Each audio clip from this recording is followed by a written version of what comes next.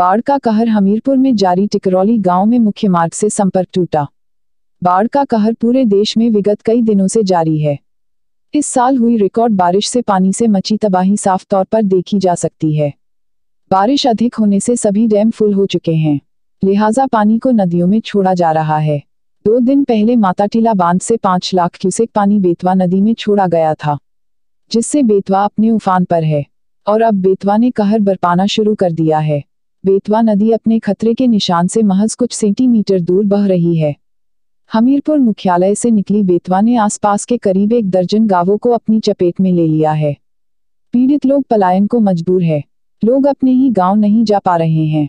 रात में अचानक से पानी बढ़ने से मुख्यालय से सटे टिकरौली गाँव की मेन रोड और पुल पर पानी आ गया, जिससे लोग नाव के सहारे मोटरसाइकिल रखकर अपने घरों तक जाने को मजबूर है। बाढ़ की आशंका होने से ही सरकार प्रशासन को किसी भी आपातकालीन स्थिति से निपटने की हिदायत देता है। लेकिन हमीरपुर का प्रशासन किसी अनहोनी के इंतज़ार में बैठा है। मुख्यालय से सटे टिकरौली गाँव में मुख्य मार्ग से संपर्क टूटने पर लोग प्राइवेट नाव में अपनी मोटरसाइकिल समेत रास्ता पार करने को मजबूर है। अधिक लोग व भार होने से नाव पलटने का भी डर बना रहता है। लेकिन पानी के प्रलय के आगे स्थानीय लोगों की बेबसी को दूर करने के लिए प्रशासन तैयार नहीं है।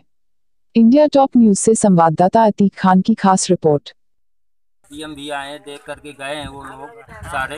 हाँ और क्या करें, हमारा जो देवगांव चंदौड़ी मार्ग है, जो बंद हो चुका है, हमें बीस पच्चीस किलोमीटर का चक्कर काट के आना जाना पड़ रहा है।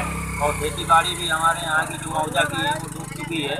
तो यही है, न सरकार की तरफ़ से कोई अभी तक कोई सुविधाएँ नहीं हुई हैं। न कोई नाव आई है, ना पार करने वाले आए हैं।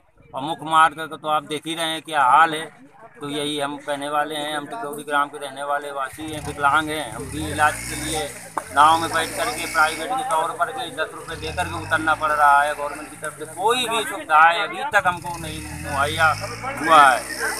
यही है। जो संपर्क मार्ग है और ये पुल बना हुआ है, इसकी ऊंचाई बहुत कम है और ये ये बाढ़ आने से तुरंत डूब जाता है, जिससे दस बारह गाँव ज़्यादा प्रभावित होते हैं और आवागमन बिल्कुल ठप हो जाता है और ज़रूरी काम निपटाने के लिए ये पैंतीस किलोमीटर रास्ता ज़्यादा तय करना पड़ता है। और जो लोग यहीं से शॉर्टकट अपनाते हैं, वो अपनी जान जोखिम में डालकर नाव के द्वारा चलते हैं।